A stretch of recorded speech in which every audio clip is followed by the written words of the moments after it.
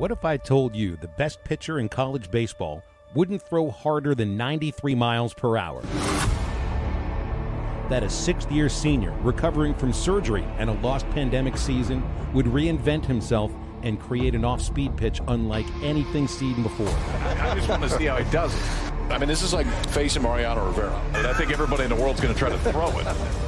That a baseball slinger from Sugar Land, Texas would become a celebrated son of Arkansas. pitcher, what?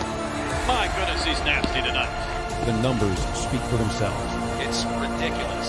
0.90 ERA, 0.76 wins, and 11 saves.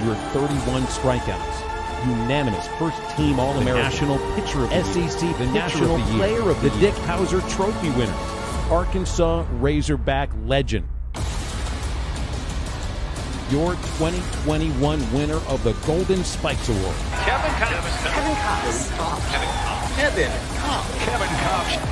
Number 45. Kevin Kopps.